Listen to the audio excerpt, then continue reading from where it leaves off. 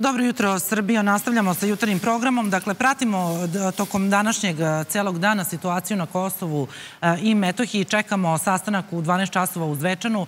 Počela je i sednica vlade koja je zakazana za 10 časova. Evo, oglasio se i specijalni izaslanik Evropske unije za dijalog Beograda i Prištine Miroslav Lajčak izjavio da je njegov razgovor sa predsjednikom Srbije Aleksandrom Vučićem bio dug i težak, ali iskren. Dugi težak, ali iskren razgovor sa predsjednikom Srbije, Aleksandrom Vučićem, sinoć računam na odgovorno ponašanje svih da pokažu uzdržanost zarad sigurnosti i stabilnosti Nasilje mora biti izbegnuto, napisao je Lajčak na Twitteru. Sačekat ćemo da vidimo šta će se dešavati tokom današnjeg dana. Mirni protesti su zakazani, dakle vidjet ćemo da li i u kojoj meri se viore srpske zastave. U narednih sat, sat i po vremena koleginica Marta će nas izveštavati sa lica mesta. Mi nastavljamo malo laganije teme. Koliko mogu biti lagane, to će da nam kažu moji naredni gosti. Da li bolje biti lagani ili teži. Sa mnom u studiju se ovoga e, jutra Andreja e, Stojanović, DNK analize. Dobro jutro i dobro mi došli. E, Miloš Adamović, nutricionista i Stevan Jovanović, takođe nutricionista, profesori fizičkog vaspitanja. Jel tako? Ja sam dobro rekla. E sad, da li je bolje biti težak ili, ili lagan? Šta je bolje? Te ja, ovaj, kad smo kod toga da li, da li je bolje biti težak ili lagan, evo po, pokazala se jedno istraživanje, skoro su radili u Americi, e, gde su testirali ljude i videli su da, na primjer, e, ko izgubi 10% telesnih masti, e, 50% mu je bolji rad te limfocita.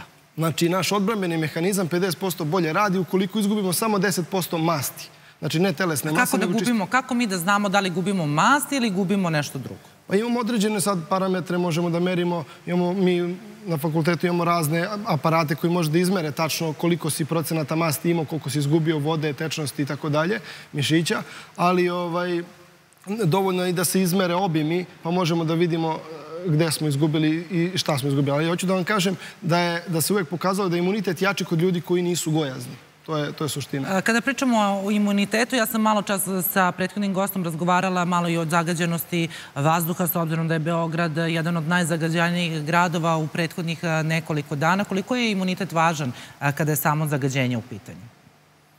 Uh, Imunitet je od ključnog značaja, to je znači naš odbrambeni mehanizam koji se brani protiv, svakodnevno protiv raznih patogena i napadača. Sad jako je važno, ljudi u današnje vreme nemaju puno izbora. Znači kada je vazduh zagađen mi moramo da dišemo, imaju nekoliko opcija. Imaju da opciju da Pa nemamo izađu. opciju da ne dišemo. I, i, da, imamo opciju da izađemo iz, iz tih gradova koji su zagađeni da imamo opciju da kupimo neke određene filtere koji će da filtriraju naše, naš sobni, sobni vazduh i da ne otvaramo prozore. I imamo opciju da koristimo svakodnevno lekovito bilje koje je dobro za respiratorne bolesti kao što su podbeloman, divizma i tako dalje, neke biljke u obliku čajeva koje ćemo svakodnevno piti, koje će pospešiti izbacivanje svih tih otrova koje mi udahnemo u toku jednog dana. Andreja, koliko nam genetika, koliko nam je genetika važna i šta genetika tačno može da nam pokaže? Da li, na primjer, može genetika da nam pokaže upravo sliku imuniteta? Imuniteta ne. E, mi u genetici u suštini targetiramo rizike sa kojima smo rođeni, a epigenetika utiče na to na koji način ćemo mi u stvari voditi naš život, u stvari da li će doći do te ekspresije gena. Po tom epigenetikom prevashodno bih e, rekla da je to ishrana, da je to fizička aktivnost, suplementacija, uopšte način života i naše navike koje nasleđujemo iz e, okruženja i one u stvari su modifikatori e, toga da li će doći do ekspresije gena, odnosno do nekog neželjenog rezultata. Ja bih se samo nadovezala na ovo zagađenje sada, gde upravo neka hrana koja dovodi do zapaljenskih procesa dodatno narušava imunitet, odnosno dovodi do toga da organizam slabi gde možemo da mislimo da neka hrana je za nas dobra, a u suštini zapaljenske procese pravi i slabi imunitet. Da li je to individualna hrana ili postoji određena hrana koja svakome smeta? Postoje neke, neka hrana koja svakome mhm. smeta, ali e, u genetici e, mi tačno možemo da targetiramo koja hrana kod koje osobe dovodi do zapljenskih procesa. Naravno da postoji hrana koja kod većine ljudi dovodi, to je pšenica, mlečni proizvodi, šećeri, kod svih ljudi dovode do zapljenskih procesa, ali određena hrana kod nekoga može dovoditi do, do većih zapljenskih procesa, pogotovo kada je u pitanju neka kombinacija hrane, do, ne znam, izloženosti duvonskom dimu ili manjka fizičke aktivnosti. Stevane, da li znamo da kombinujemo hranu? Uh, ne znam. Evo, Andreja je sada spomenula uh, pšenicu. Uh, uh, mogu da se složim do nekle. Pitanje je samo koja je pšenica u pitanju. To jest, mi današnja pšenica, belo brašno i uopšte što mi ovo danas konzumiramo, sve od tih pšeničnih proizvoda uopšte, to nije dobro. Ali recimo ako uzemo speltu kao pšenicu koja je starog tipa, to je autohtona sorta, ona totalno drugačije sadrži i količinu glutena i uopšte aminokiselinski lanac je totalno drugačiji molekulski, tako da ta pšenica je ovaj, korisna za nas, s tim što ta, te pšenice danas ima malo.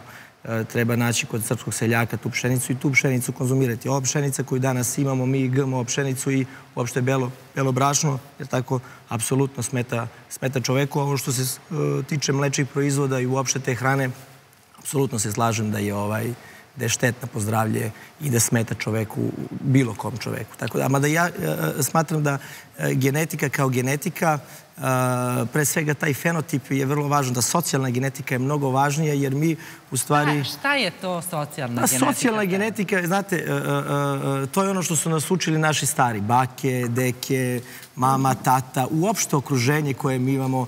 Danas se susrećemo sa mladim ljudima koji koriste razno pijate, razne, evo, koleginica je spomenula, jer tako duvanski dim, alkohol, to je socijalna genetika. I onda to postane sasvim normalno, i onda mi dobijemo razne bolesti koje su u stvari uzročne u, u ovim stvarima o kojima sada govorimo. Kada pričamo o bolestima, najčešće bolesti uh, kada je barem Srbija u pitanju, negde posljednje statistike kažu osim srčanog i moždanog udara, uh, tu su i razni karcinomi. Najčešći karcinom je karcinom debelog creva. Uh, karcinom debelog creva najčešće upravo i, i povezuju sa, sa samom ishranom. Da li genetika tu može da nam pokaže da li imamo predispoziciju da obolimo recimo od karcinoma ili od diabetesa ili od, da ne, ne de Bože, srčani moždani udar?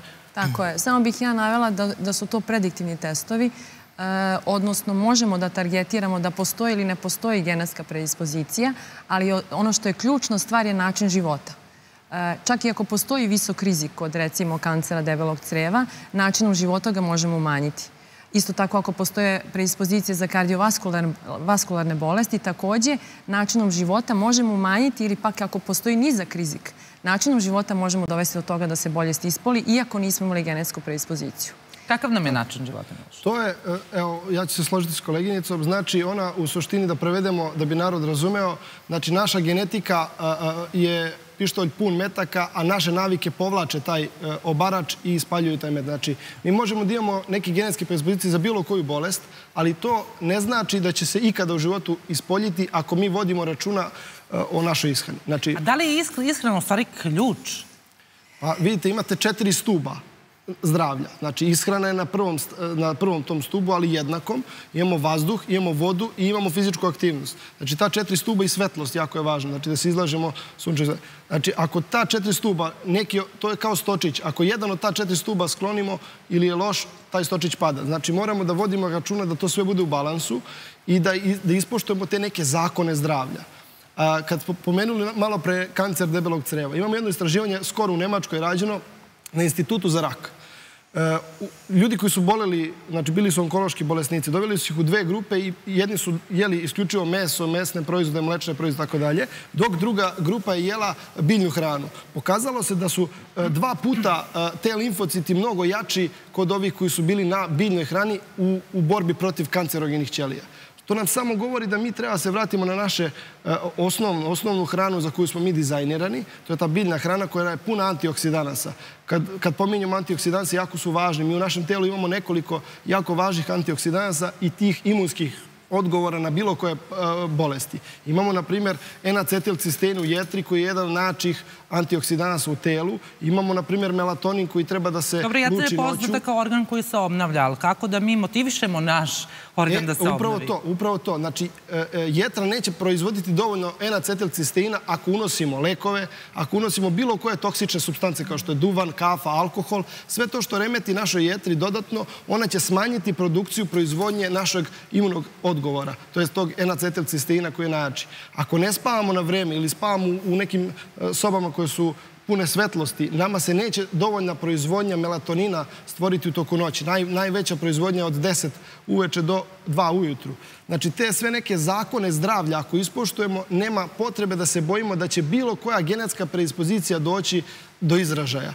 Ali, nažalost, danas, danas se bombarduje genotoksinima. Kada pričamo o genetici, postoji u hrani nešto što se zove konzervansi koji su genotoksini. Šta to znači? To znači da utiču na genetiku i da prave mutacije. O konzervancima ćemo u nastavku. E, da, evo samo da obavastim naše gledalce da je u Palati Srbije u 10 časova počela e, posebna sednica vlade o situaciji na Kosovo i Metohiji koju prisutuje predsednik Srbije Aleksandar e, Vučić. Predsednik će članovima vlade e, preneti izveštaj o razgovorima sa predstavnicima Srba sa Kosova i Metohije, sa kojima je razgovarao i e, sinoć i e, noć pre toga, dakle, celu noć su trajali razgovori do kasno ujutru, koji su i najavili povlačenje iz svih prištinskih institucija zbog poslednjih poteza premijera privremenih prištinskih institucija Albina Kurtija. Dakle, kada čitamo ovakvu vest, definitivno je da se svi donekle uznemirimo e, i koliko sam stres i koliko sama napetost, neizvesnost, e, može da utiče na, na, na naš organizam i na naše, na kraju krajeva, mentalno stanje. Evo ja. I onda a, može, a, i onda a, se nadovezujemo na to, onda tu imamo i onaj čuveni serotonin. Kada smo pod stresom, kada smo a, pod tim konstantnim tenzijama, svi nekako pribegavamo slatkišima. A, Andreja, vi ste rekli da slatkiši nisu dobri, nije dobro mleko, pa šta da radimo kada smo pod stresom? Nadovezala bih se samo na kolegu koji je spominjao neke, četiri neka stuba. Ja bih dodala tu još nekih stvari, između ostalog i tu rezilijentnost na stres. Dodala bih emocije, dodala bih ritom spavanja, disanje. To su sve e, stvari koje vrlo olako shvatamo, u stvari su izuzetno važne. Jer vi možete jesti najkvalitetniju hranu. Ako ste besni, ako ste pod stresom, nema varenja. E, mhm. tako da pre svega bi trebalo e, emotivna regulacija da bude adekvatna ta rezilijentnost na stres, odnosno da treniramo naš nervni sistem kako se nosi sa stresnim situacijama, da pod znacima navoda da se ne pecamo na situacije koje, kojima ne možemo da upravljamo, nego da ih jednostavno primimo i da ih propustimo. Jeste, to je najteže. ali to se uči. To, to je celoživotni proces koji se uči. Tako da e, i treba jednostavno raditi na tome da e, se ta rezilijentnost na stres poveća. Postoji načini kako ja bih navela tuširanje hladnom vodom, ali bih onako vrlo objasnila o čemu se zapravo radi. Nije samo izlaganje hladnoj vodi. Hladna voda je stresor, gde vi svesno izlažete svoj organizam stresoru, ali pojenta je da u tom trenutku vi ostanete potpuno mirni. Odnosno da vaš nervni sistem, odnosno vaš um, razume da vi imate kontrolu po to time... To možemo i sa vrućom. ali, ali upravo to je, ne sad hladna, ne znam koliko hladna, ali onda krećete sa 5 sekundi, 10 sekundi i onda povećavate u stvari na taj način trenirate vaš nervni sistem da na, u trenucima stresa vi znate kako da se centrirate, odnosno vratite uh, u balans. E, to je poenta. Da vas ne odvuče u neku uh, misli, da vas ne odvuku u neku stranu gde onda posle teško da se vrati. Ja bih se nadovezao na ovu priču, ovo je interesantna priča i možda bih obogatio još dodatno razgovor, jer pošto ovde pričamo o emocijama, već spominjemo još neke postulati, ja se apsolutno slažem, ovo što je Miloš naveo ovih četiri postulata i još dodatno emocije i sve to ostalo.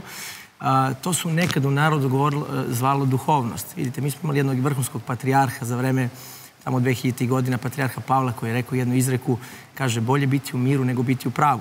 Znači, mir stvarno nema alternativu i to je vrlo važno. Mi u tim stresnim situacijama često podležemo pritisku i reagujemo burno umesto da se smirimo.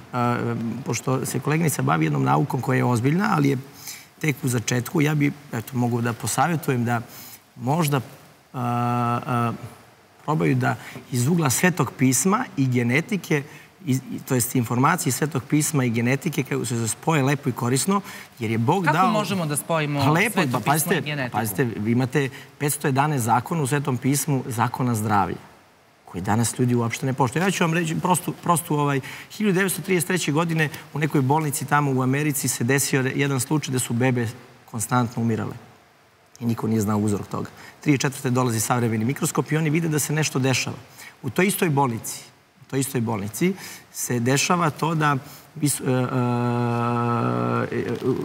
doktori koji se bave obdukcijama mrtvih ljudi sarađuju sa doktorima koji se bave porađajem.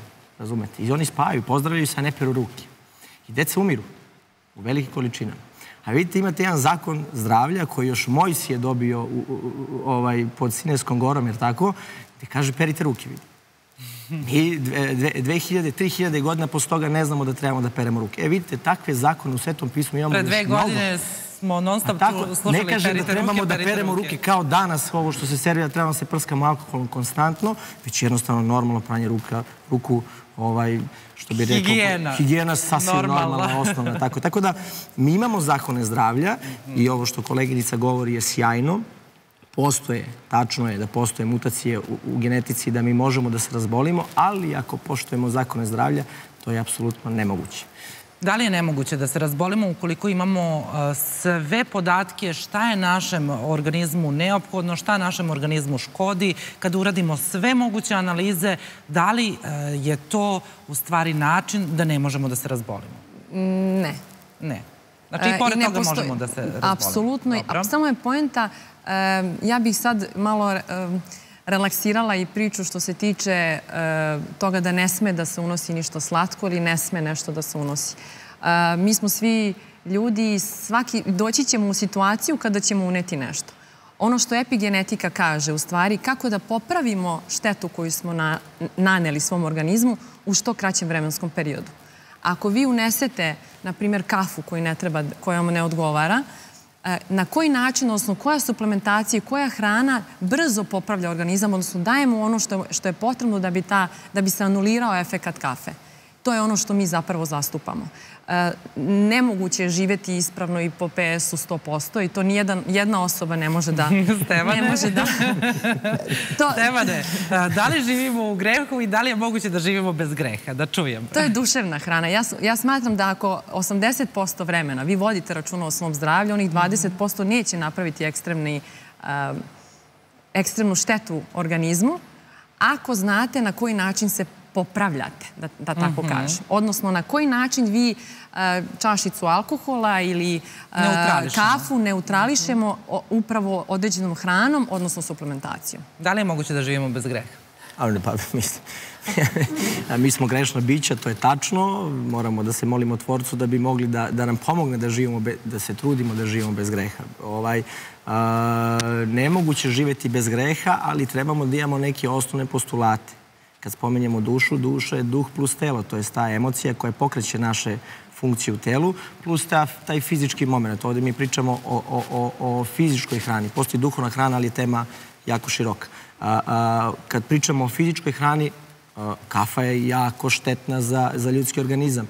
E, Nijedan otrov u malim količinama nije dobar. Mogu da se složim da možemo da ga neutrališemo, pošto znamo da je pH vrednost kafe tako jako niska.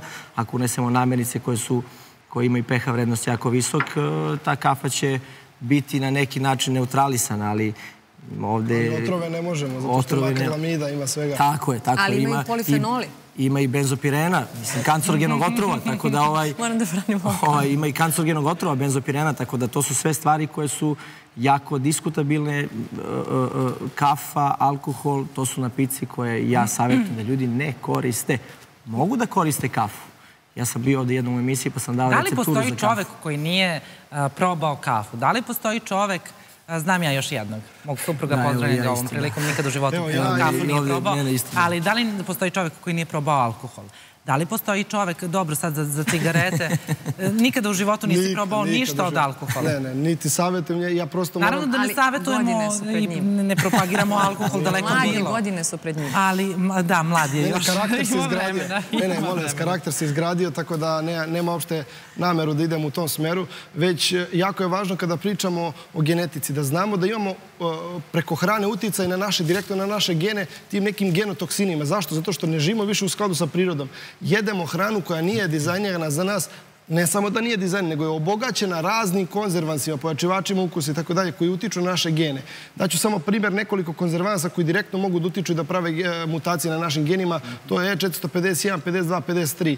S- e, Svi ti, to su genotoksini koji mogu direktno da utiču na naš DNK lanac da prave mutacije. Znamo da nema pozitivnih mutacija, tako da svaka mutacija je greška na DNK lancu, koje takođe možemo da popravljamo, ali opet ja ne savjetujem da ništa unosimo što je toksično za naš organizam. Sa druge strane, imamo, ovaj, imamo tu hranu koja je bogata i antioksidancima i polofenolima. Imamo i, i bezbroj toga što nam je u prirodi dato i to je sam dokaz. Malo pre, malo pre ste pomenuli kakve veze ima sveto pismo i DNK. Pa upravo je DNK jedan od e, prvih faktora koje, koje čoveka kojom čoveku daje informaciju da je morao da postoji tvorac, inteligentni dizajner koji je dizajnirao taj inteligentni lanac od e, 3 milijarde 600 miliona slova. Koje, e, ta informacija samo u DNK lancu nam govori da, da postoji tvorac, da nismo nastali nikak, ni od kakvih majmuna i da nismo nastali nikakav proces evolucije, da to ne postoji. Znači, upravo kada je ona... Joj, kako ćemo imati napada sada? Zato što mi, smo, mi treba da živimo... e, e, e, Od koga smo nastali? Postoji živo biće, znači, e, glavni zakon biogeneze kaže, živo nastaje samo od živog. To je prvi glavni zakon. Ako mi smatramo da je nešto nastalo iz nežive materije u život, to je odmah ta teorija pada u vodu. Zato se i zove teorija, zašto ne može se dokaže. Zato što moramo da znamo da postoji živi tvorac koji daje život. I, I sam on je napravio taj DNK lanac koji je jako složen. Koleginica se bavi DNK lancom i, i istraživanjem e, DNK. Mi 50% DNK lanaca ne znamo čemu služe uopšte. To je mlada nauka. Mi ne znamo, mi možemo se bavimo nagađanjima, ali mi ne možemo tačno da znamo čemu oni služe. Tako da ja bi se bazirao opet na ono što je nama sigurno dato, a to je da imamo samo tri kategorije. Imamo biljojede, mesojede i svaštojede. Nema nikakvih daljih, e, e, ovaj, kako se zove, e, kategorija koje možemo da ubacimo da, da čovek jedan treba da jede ovo, jedan treba da jede ovo. Tako je, imamo i svašta jede, to u prirodi postoje. Jako su u malom broju zato što oni služe da očiste prirodu. E, Biljojeda ima najviše zato što biljaka ima najviše u prirodi. Tako da je to sve u jednom lepom balansu. Čovek se pretvorio u svašta jeda i uništava taj balans u prirodi i zato je čovjek bolestan. Nijedan živi organizam u prirodi neće biti bolestan ako poštuje upravo ove zakone koje je Stevan rekao, a to je da jede hranu za koju je dizajniran. Znači, mi smo malo prepominjali kancer debelog creva, pa upravo imamo, na primjer, u meso danas se ubacuje jedan hidrokoloid E407, koji, koji se lepi za naša creva i pravi rane i pravi e, ovaj, ta propustljiva creva. Mi dobijamo onda e, e, jedno odlično tlo za razvoj bolesti. Znači, ako počnemo od creva pa do dalje svih bolesti nastaju odatle. Tako da je jako važno da poštujemo te neke zakone i da ne savjetujemo ljudima nikakve otrove, toksine ni u malim količinama. Jer imate doktore koji dolaze u emisiji i govore da su sve droge i svi ovaj, otrovi u malim količinama dozvoljeni. Na, nažalost, nauka ne može se složiti s time. Dobro, ne, tako da, ne, Mogla bih samo ne- da pitam nešto kolegu? Da. E, ako je u pitanju biljna ishrana, šta se dešava sa nivom testosterona kod osoba koje e, jedu u velikoj količini Ja mogu bilja? da kažem, ovaj, ja imam troje dece, a jede biljnu hranu, da. Ja, ja takođe, e, ja mogu da vam kažem da... na taj način pitanje. E, testosteron nema nikakve veze sa tim. Evo daću vam primjer, digresiju na to vaše Kao pitanje. pitanje, da. Evo kao pitanje, odgovor. E, Znate gde ima najviše estrogena? U, u mesu i mlečnim proizvodima. Mleko je puno estrogena, progesterona, prolaktina. Takođe, danas meso koje jedemo je dominantno ži- ženskih životinja. Ne jedemo, znači jedemo kravu, ne jedemo bika i tako dalje, jedemo kokošku, ne petla. Znači jedemo dominantno ženske Šta hormone. Čekaj, čekaj, I čekaj, takva čekaj, hrana čekaj, suzbija naš To, to mi testosteron. sada zvuči interesantno. Jako suzbijamo naš testosteron. E. Ljudi koji su na biljnoj hrani nemaju uopšte problema sa nivoima hormona. Znači, da, ne postoji muško-žensko. Šta to tačno znači jedemo kravu, ne jedemo bika? Ako budemo jeli bika, Unosimo muške hormone. Nekad se to znalo. E, muškarci su jeli e, bika kad se pravi, a žene su jele... treba da jedemo petla, a neko... Znači, Ne, moramo da muškarci. se podelimo. Čekaj, sad, sad polako. Ja, sam, ja sam Muškarci digresiju na moraju da osnovu jedu hormona. petlove. Na osnovu hormona. Znači, hormoni koje unosimo danas E, danas muškarci su kao žene, zato što dominantno jedu životinske proizvode koji su puni estrogena, prolaktina, Upravo sam to htjela da te pitam. Da li to znači da muškarci trebaju da jedu... I toga u biljakama nema. Toga u biljkama nema, nema to ću da kažem. ali za one muškarce koji jedu meso, znači oni ne trebaju da jedu kravu, trebaju da jedu bika. Ne treba da jedu... To danas u Beogradu i gradovima ne možda nađete kokošku, kokošku, tako. kokošku, nego trebaju da jedu petla. Tako da je to, to potpuno pogrešno. Mi imamo, na primjer, u biljkama izoflavone, koji se nalaze u mahunarkama. Neki ih zovu fitoestrogene, ja s time ne bi složio. Ali ti izoflavoni su u državama u kojima se jedu mahunarke, te države nemaju kancer dojke, te žene koje jedu, zato što ti izoflavoni su upravo nama lek, pomažu nam, vezuju se za određene neke receptore estrogenske i blokiraju vezivanje estrogena iz mleka, koji je ogromnim količinama. To je životinski, e, životinski estrogen. Tako da se ne bi složio s time da muškarci imaju nizak testosteron zato što je do biljke. Evo, ja sam primjer, evo kolega Stevan. Znam mnoge kolege koji su jako dobri sportisti. Da. Ne generalizujemo, ali određena, znači, biljna ishrana zahteva određenu dodatke ishrani e, zbog toga što ne postoje zbog toga što ne postoje aminokiseline. Znači morate jesti, e, za biljnu ishranu je zaista jako važno poznavati šta je, kako je treba da izgleda e, obrok biljni da bi se nadoknadilo sve što ne postoji u životinskog porekla. Epigenetika kaže da je pojenta u balansu. Znači, poenta je u, balansu, balansu. Poenta je u balansu, odnosno konzumirati hranu koja je adekvatna za svačiji organizam posebno. Ne postoji ništa što je... Ne postoji, apsolutno. Mhm. I ne postoji ni jedna, sve je personalizovano, od suplementacije, odnosno mojih dnevnih potreba za vitaminima i mineralima i od kolega i vaših, to svakako nije isto. I zato jeste važno odrediti šta je zapravo potrebno mom organizmu. A to ne možemo šac metodom time što ćemo testirati može. To je takozvana dijete koje su eliminacione dijete, gde smo mi isključivali sve namirnice koje su potencijalno štetne, pa ih onda vraćali i onda merili se i tako dalje. Ali to zahteva jako puno vremena. Epigenetika u stvari kaže i nutrigenetika da mi možemo na jedan e, jednostavan i kratak način e, dobiti informacije koje E, će nam smanjiti, skratiti vreme i u stvari pokazati koji je put koji mi treba da idemo. Stevan je nastrpljiv. Pa, mislim, ja ne mogu da, se složim. Da, pa ne, ne, ne, ne, ne, ne, pazite. Ovaj, mislim, ne pričamo mi ovde dijeti, pričamo o zdravlju. Znate. Ovaj, postoje studije koje pokazuju da sve aminokiseline potiču iz zemlje. Priča o proteinima je stvarno prosta priča jako. Mi imamo apsolutno dovoljno proteina u biljkama prvo moramo da shvatimo kako protein funkcioniš. Znači, mi imamo aminokiseline koje su, koje su veze da bi se stvorio taj, taj protein. Tako da, u principu, ovaj, a, a, ako mi a, svedemo samo na tri namernice, na žitarice, pričamo o autotonim sortama, mahunarke i orašaste plodove, mi ćemo da dobijemo apsolutno a, kompletan aminokiselinski lanac i kompletan ovaj, protein i ne samo što je kompletan, nego u mnogo većim količinama nego što je to Stevane, da li bi smeo da uradiš nutrigenetiku? Nemam ja problem nikakav sa tim, ali meni to nije potrebno.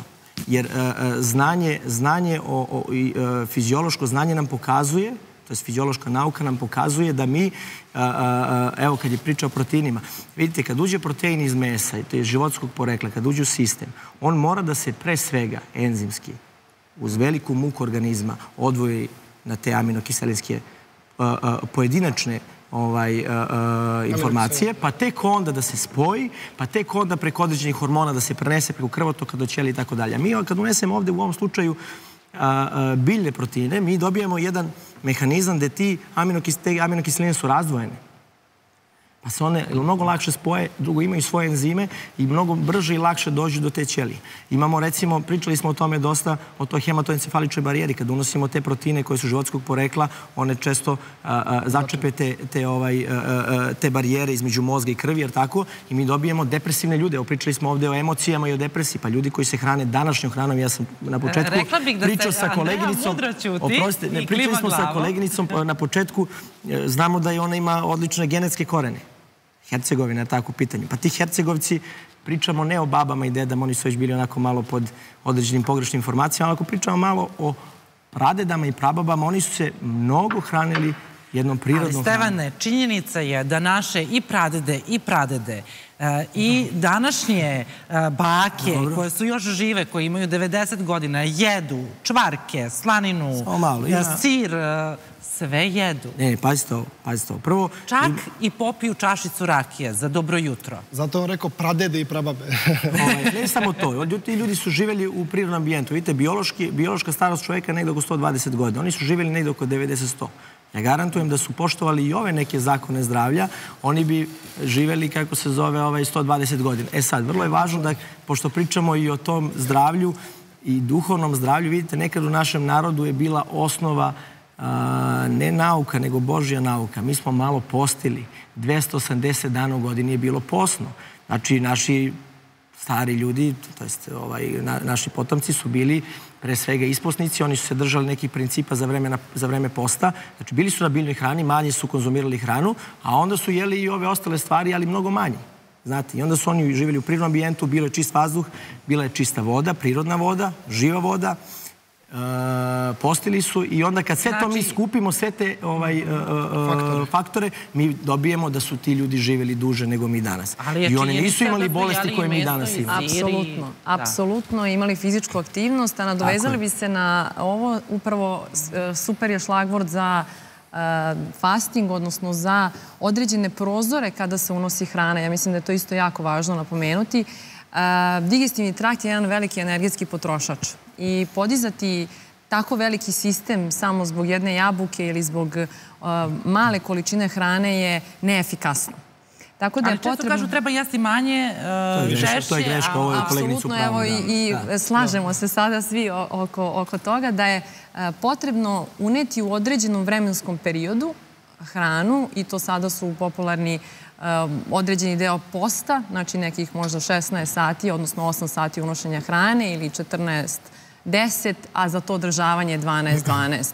Ali je pojenta i kakvu vrstu hrane unosite u tom e, vremenskom periodu, a ne industrijski procesiranu, gde e, ako trebaju tri stvari da se e, kao neki zaključak iznesu iz svega ovoga, to je 0%, 0 procesirane hrane, fizička aktivnost i svest o tome e, šta mi zapravo unosimo i zašto i zbog čega. Ajmo sada da ovako uprostimo. Sad će naš narod da kaže, dobro, sve je to u redu, ali ja kad uđem u market, meni je uvek lakše i jeftinije da kupim viršle, da kupim salamu, nego da kupim ne znam nija šta. E sada, mi smo često i kroz moje i druge emisije razgovarali o tome da zdrava hrana ne mora da znači da je zdrava hrana skupa hrana, da treba da se zna kako i na koji način se pravi. E onda kada mi to kažemo, onda kažu ljudi, pa dobro, ja nemam vremena za to, a, lakše mi je ovo.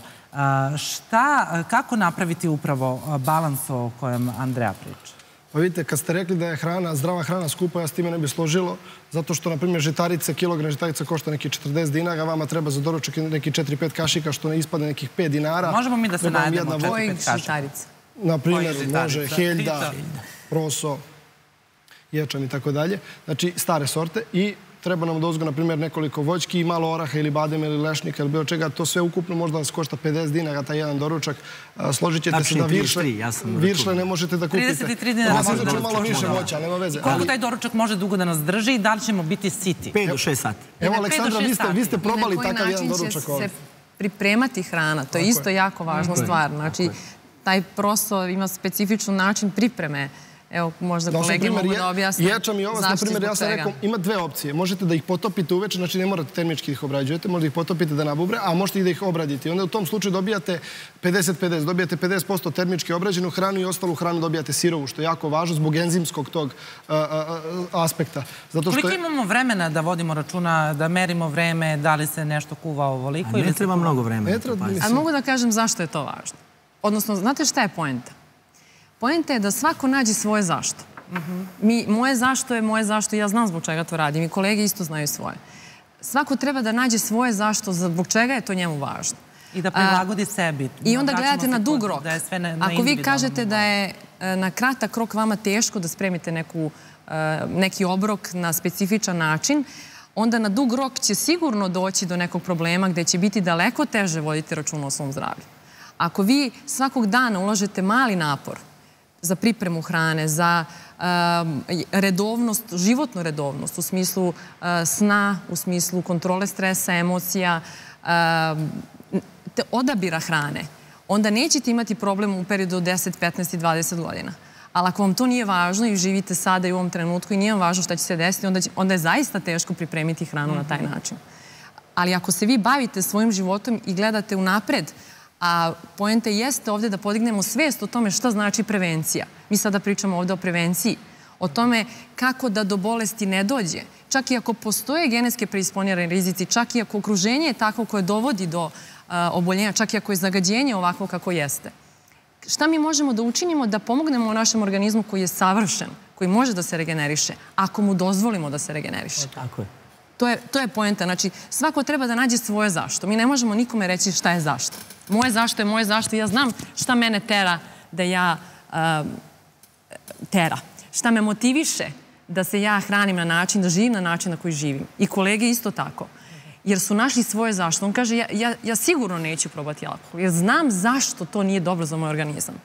E, tako svako treba da bude prvo istraživač, da sumnja u sve što smo rekli. Izuzetno je važno da sumnja i da ništa ne shvata crno-belo, ne, a da testira na sebi.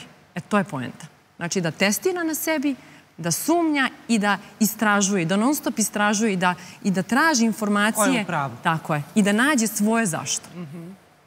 I malo pre smo pričali ja, o... Ja, ja, bih samo da, ja bih samo da slažem se sa kolegnicom, pogotovo u ovom delu regeneracije i savršenog dizajna našeg tela. Stvarno nas je Bog onako detaljno, ako uđemo u srž ćelije, pa vidimo, recimo do 1886. godine se verovalo da je ćelija neka belančevina sa struktura i da je nebitna u, celom procesu u našem telu, a onda su, kad su, kad su stigli ti neki savremeni ovaj, mikroskopi, videli da su da je ćelija neverovatna informativna bomba, bukvalno informativna bomba. I mi smo savršen dizajn koji ima opciju regeneracije.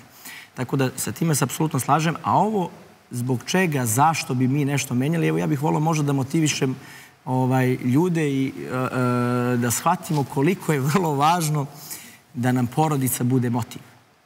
Mi danas imamo ti ja smo pričali u prethodnoj emisiji, možda ni udar je bila tema, pa, smo, pa sam ja negde tamo napomenuo da je stvarno stresno kada porodica doživi određeni, određenu ovaj, bolest svog bližnjeg, jer tako? I to stvarno jeste stresno. Ne pričamo kada je bližnji umre. Tako da mislim da to treba da nam bude glavni motiv. Da naša porodica bude pre svega zdrava. Da mi našoj porodici pokazujemo šta je to zdravlje. Na kraju krajeva naša deca će tako najbolje naučiti od nas jer taj vizualni moment je vrlo važan. Drugo, kada deca to vide, oni će to raditi sigurno. Tako da porodica treba da bude motiv svakome. Zdravlje, da ne bude na kraju, na kraju, na kraju krajeva teret svojoj porodici u nekoj kasnoj životu dobili. Po biologiji mi ćemo svi, jer tako, doći u fazu starosti. Imamo ono izreku, pitaće nas mladost, gde nam je, to je pitaće nas starost, gde nam je bila mladost. nam je bila mladost, jer tako. Tako da ovaj, to treba da bude glavni motiv. Porodica, deca i naš, to jest videlo, naše videlo ovaj, ljudima jer tako da, da, da, da menjamo svet, ako je to moguće, tako. Makar u nekom užem krugu. Koliko je moguće da menjamo svet i koliko je moguće da menjamo sebe, to je sada najveće pitanje s obzirom da živimo ovim i brzim tempom i nekako spomenuli ste i fizičku aktivnost, nekako se sada sve svelo i na same računare i na više sedenja nego što je to nekada bilo. Pričali smo i o našim bakama i dekama kako su dugo živeli, ali činjenica je da su oni radili fizičke poslove. Od danas se fizičkih poslova svi sklanjaju, mnogi beže.